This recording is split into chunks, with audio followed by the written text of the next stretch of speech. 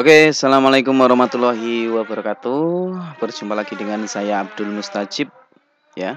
Tentunya di Top Just TV. Pada kesempatan kali ini kita akan coba uh, reparasi handphone Oppo, ya. Handphonenya Oppo yang terunlock, yang terkunci seperti ini. Kita coba perbesar. Oke, kita perbesar layarnya.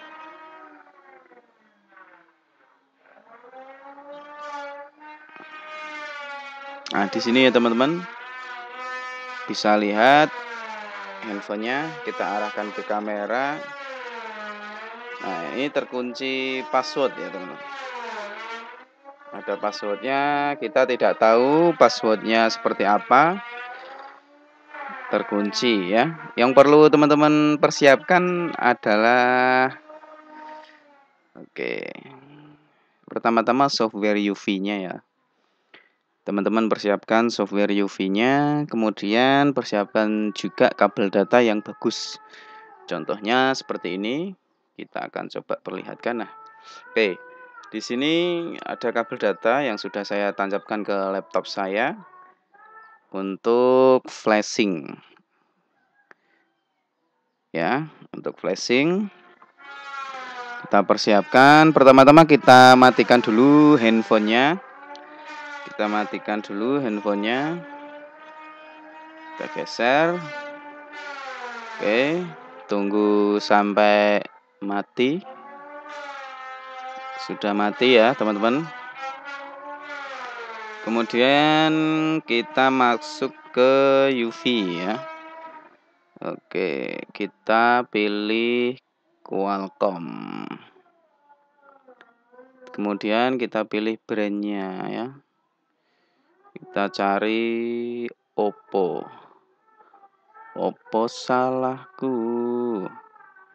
Oke, udah. Kemudian kita masukkan uh, tunggu, kita tunggu sampai loadingnya selesai. Kita masukkan SOC-nya ya, pilih ke Snapdragon 410.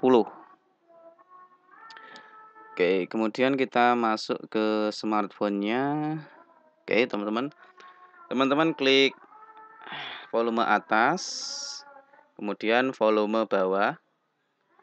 Gini,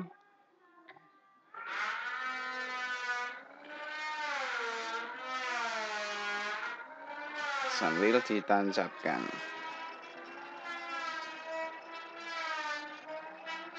Oke.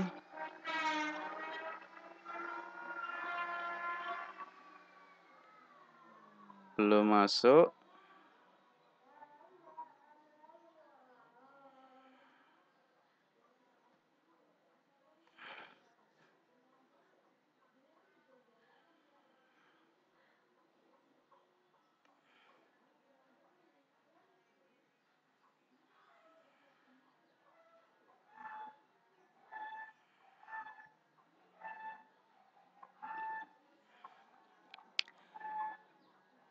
Oke teman-teman kita cek dulu satu persatu.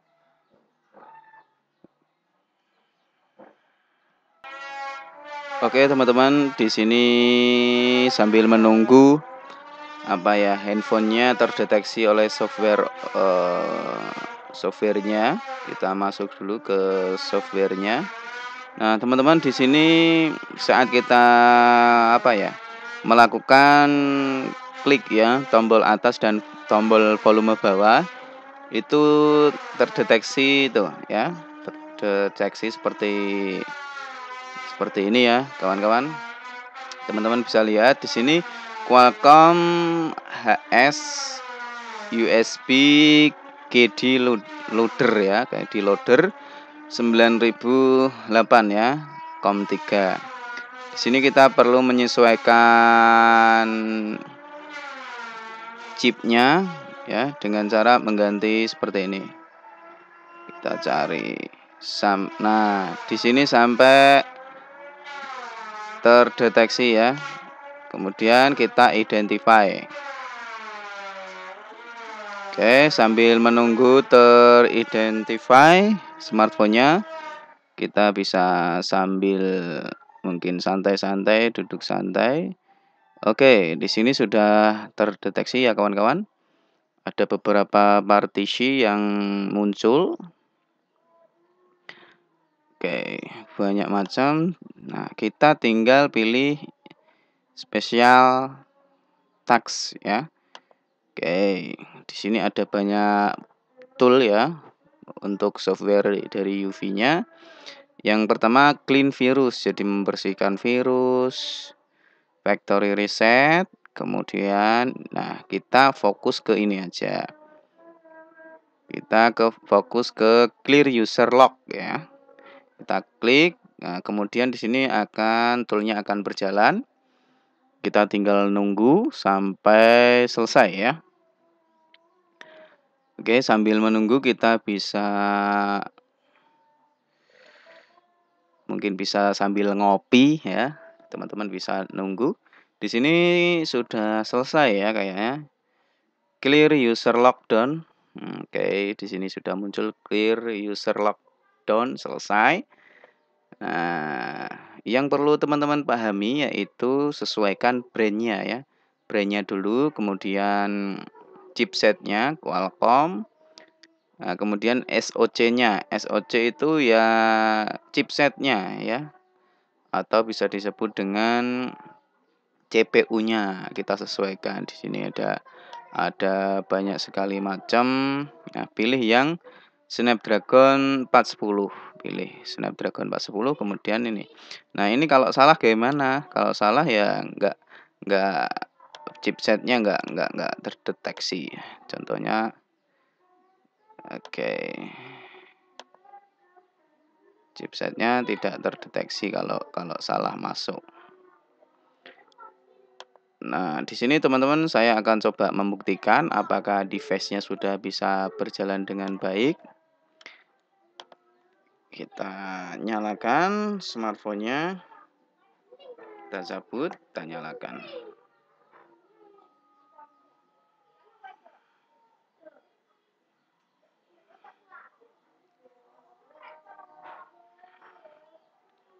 Oke, di sini sudah loading handphonenya, smartphone-nya sudah loading.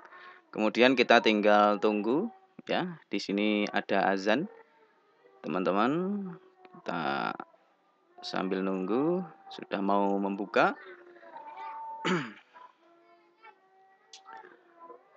kita tinggal tunggu sejenak ya. Bagi teman-teman sambil menunggu jangan lupa subscribe channel ini dukung channel ini untuk agar lebih baik lagi ya. Mungkin hasil uang dari YouTube ini untuk beli kamera lagi agar video ini makin bagus ya, videonya makin bagus, nggak buram dan teman-teman dalam hal menonton itu lebih enak ya. Oke. Kita tunggu saja. Ini baru booting ya. Semoga tidak botlop. Oke, udah dan kita coba bismillahirrahmanirrahim. Ya. Sudah terbuka ya kawan-kawan, handphonenya sudah terbuka. Bisa uh, semua game tidak terhapus. Oke, ini ada game Mobile Legends-nya tidak terhapus. Teman-teman bisa lihat di sini. Ya, oke. Sudah terbuka dan Alhamdulillah sudah selesai pekerjaan kita. Oke, teman-teman bisa lihat. Nah, tadi terlock ya. Sekarang sudah terlepas. Nah, terima kasih buat teman-teman yang tonton channel ini sampai habis ya. Jangan lupa like, comment, dan juga subscribe. Karena subscribe itu gratis ya, tapi kuotanya bayar sendiri, oke? Okay? Saya akhiri wassalamualaikum warahmatullahi wabarakatuh. Semoga tayangan ini bermanfaat bagi rekan-rekan semuanya ya. Jangan lupa bahagia dan juga uh, cari rezeki yang halal. Oke, terima kasih. Sampai jumpa.